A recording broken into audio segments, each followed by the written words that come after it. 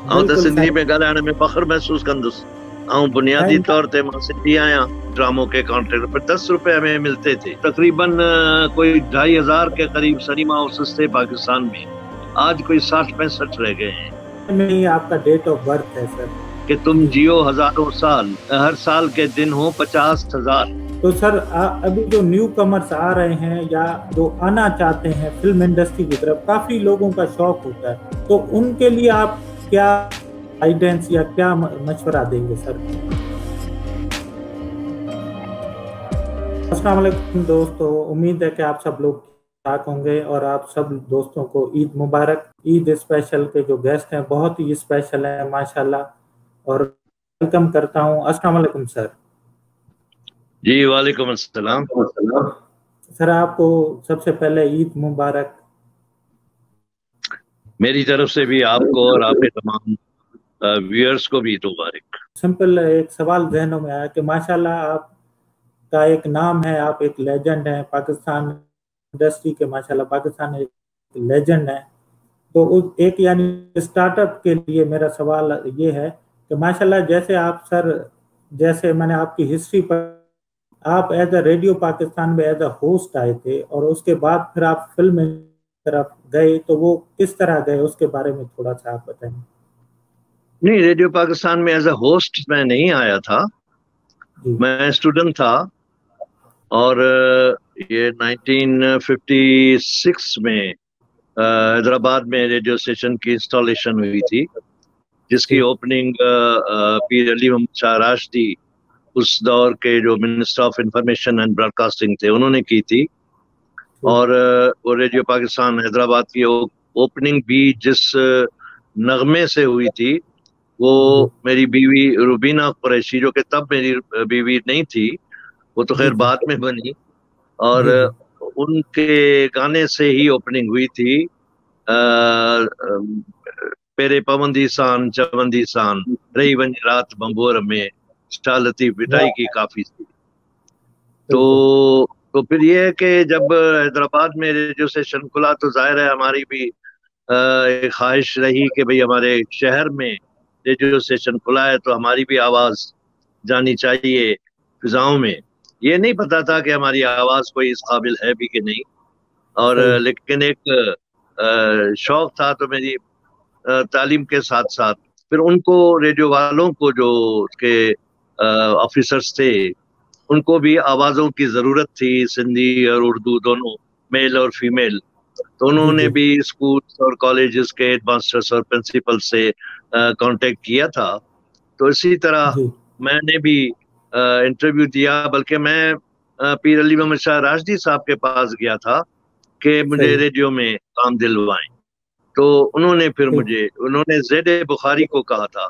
Z Bukhari जो कि उस वक्त का पहला पाकिस्तान का डायरेक्टर जनरल था रेडियो पाकिस्तान का। तो इस तरह मैं पहला कॉन्ट्रैक्ट आया मुझे और वो प्रोग्राम था फीचर था। एक ड्रामा होता है एक फीचर होता है। फीचर में रावी नंबर एक रावी नंबर दो रावी नंबर तीन इस तरह होता है। वो फीचर सिंधी में था जिसका टाइटल था असांजो पाकिस्तान हमारा पाकिस्तान।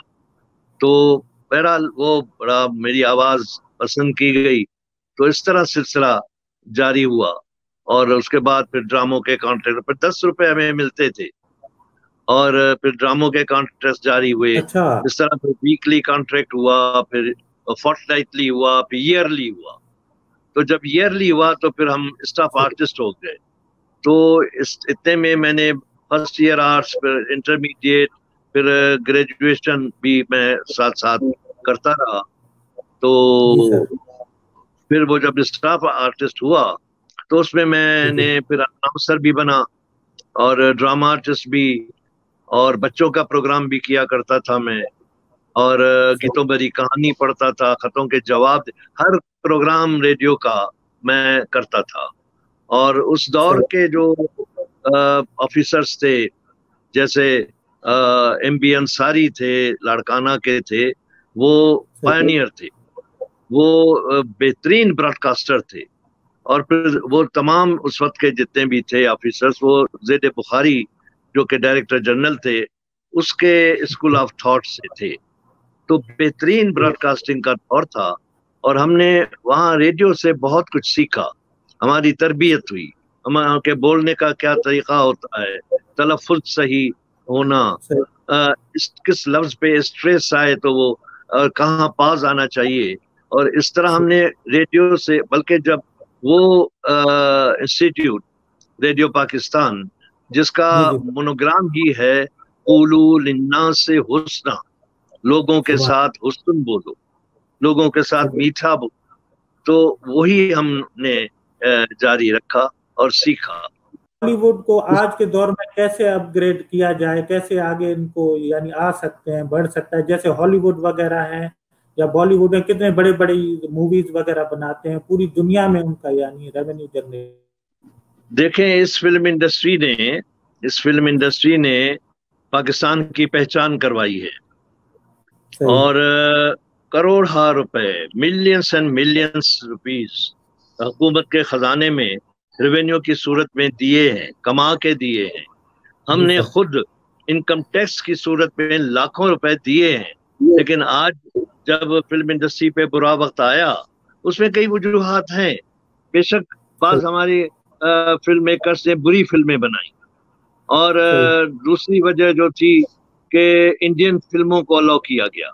अब जब इंडियन फ़िल्में अलाउ हुई तो ज़ाहिर है इंडियन इंडस्ट्री बहुत बड़ी इंडस्ट्री है। और वो हावी हो गए। और हमारे जो सिनेमा ओनर्स थे वो भी प्रेफर करते थे इंडियन फ़िल्म को। उनको शो देते थे। इस और तो हमारे जो बाकी जो सिनेमा ओनर्स थे उन्होंने सनी में तोड़ने शुरू कर दिए और प्लाजे बन गए। उनकी करोड़ों रुपयों की प्रॉपर्टीज़ खड़ी थी। तो तकरीबन कोई ढाई हज़ार के करीब सनीमा हाउसेस थे पाकिस्तान में। आज कोई साठ पैंसठ रह गए हैं। सही सर बिल्कुल आपने सही कहा। और सर इसके साथ साथ अभी यानी मुझे जो मैंने पढ़ा अब फर्दर आप मुझे कंफर्म कर दो में आपका डेट ऑफ़ बर्थ है सर मेरी इलेवेंथ मई। सर ग्यारह मई। हैप्पी बर्थडे रिसेंटली ग्यारह मई गुजरी है सर गुजर गई थैंक यू वेरी मच तो सर आप यानी यानी वो ये जो डेट डेट ऑफ़ बर्थ जो होती है इसकी ये एक रस्म चली आ रही है सैकड़ों सालों से के सेलिब्रेट करते हैं मोमबत्तियाँ हैं। हालाँकि ये तो दुख का दिन होता है कि आपकी ज़िंदगी का एक साल कम हो जाता है। हालाँकि इसके लिए सालगिरह के लिए एक शेर भी है और उसका फिल्मी गाना भी बना था कि तुम जियो हज़ारों साल हर दिन के हर साल के दिन हो पचास हज़ार। तो आजकल के दौर में जब एक एक लम्हा एक एक सांस लेना दुश्वार है लोगों के लिए तो हज़ार साल कोई जिए तो ये तो बदुआ है। ये तो अजाब है। तो सर आ, अभी जो न्यू कमर्स आ रहे हैं या जो आना चाहते हैं फ़िल्म इंडस्ट्री की तरफ़ काफ़ी लोगों का शौक होता है। तो उनके लिए आप क्या गाइडेंस या क्या मशवरा देंगे सर? देखें अब तो यहाँ फ़िल्म इंडस्ट्री जैसे मैंने अर्ज़ किया कि पहले की तरह नहीं रही। पहले साल में 200-250 फ़िल्में बनती थी अब कोई 20-25 रह गई हैं। और उसमें भला हो बिलखसूस कराची वालों का और चंद एक टीवी चैनल्स का जो कि बड़े चैनल्स हैं उन्होंने फ़िल्म इंडस्ट्री को रिवाइव करने में काफ़ी वो आ, काम कर रहे हैं और वो टीवी के आर्टिस्ट खासतौर पर वो आ, फ़िल्मों में आ रहे हैं और चंद एक फ़िल्में बहुत अच्छी भी गई हैं और बड़ी हिट गई हैं। लेकिन जो एक आ, हर आर्टिस्ट बिज़ी हुआ करता था हर टेक्नीशियन बिज़ी हुआ करता था और ढाई हज़ार सिनेमा कोई हमें आ, इतनी फ़िल्में बनती थी मेरी फ़िल्में मेरी और सुल्तान राय की फ़िल्में ईद के दिन पे चार चार छह छह फ़िल्में लगी हैं एक ही दिन पे और चारों छह ही फ़िल्में जो थी वो हिट हुई हो चुकी हैं। तो वो सिलसिला अब नहीं रहा। जी। सॉरी बिल्कुल sir. No no it's okay sir. और बहुत ही प्यारी आपने बात बोली। सर अभी आपने अपने एक दोस्त साथी का नाम लिया जो कि माशाल्लाह वो भी किसी नहीं थे सुल्तान राई साहब। तो उनके साथ कोई ऐसा यादगार लम्हा जो आपको याद आता हो और आप यानी हर लम्हा उनके साथ यादगार लम्हा है। हर लम्हा। वो इसलिए कि उसने भी मैंने भी अपने बीवी बच्चों को इतना नहीं देखा जितना हमने एक दूसरे को देखा दिन रात। क्योंकि रोज़ाना दिन रात हम 24 घंटों में से कोई 18-19 घंटे काम करते थे। रोज़ाना चार पाँच फ़िल्मों की शूटिंगें किया करते थे। एक स्टूडियो से दूसरा स्टूडियो इंडोर से आउटडोर इस तरह। तो हम एक दूसरे को तो हमने देखा। लेकिन जब हमें पूछते थे कि भाई मेरा बेटा या मेरी बेटी आज कितने बरस की हो गई है तो हम उम्र नहीं बता सकते थे। हम यूँ करके बताते थे कि आज इतनी है या इतना है इतना है या इतना है। वो क्योंकि जब हम शूटिंग के लिए जाते थे तो वो या सो रहे होते थे बच्चे या स्कूल गए हुए होते थे। फिर जब हम स्कूल से आते थे तो भी सो शूटिंग से आते थे तो भी बच्चे सो रहे होते थे। तो हमने इतने साल अपने बच्चों को सोते हुए ही देखा।